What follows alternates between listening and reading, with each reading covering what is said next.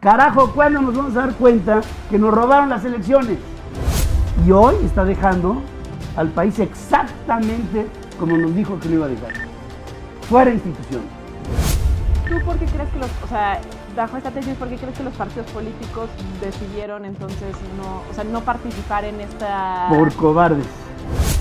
Yo le he dicho a funcionarios de, de partidos políticos, si tienen las actas, ya las contaron, ¿verdad? Sí, sí las contamos. Nada más, ¿están llegando al mismo resultado que estamos llegando nosotros? Sí. ¿Y por qué no hicieron nada? Si los traes maiceados, ahí tienes al pueblo. Es el ABC del pueblo de Sao Paulo. Estás hablando ya de un México incendiado. Bueno, es que es, que es un México incendiado. Este sexenio es una catástrofe.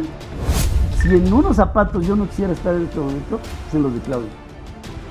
Porque le va a tocar gobernar a un país con una enorme dificultad económica, política, social, que va a traer enormes consecuencias para el país.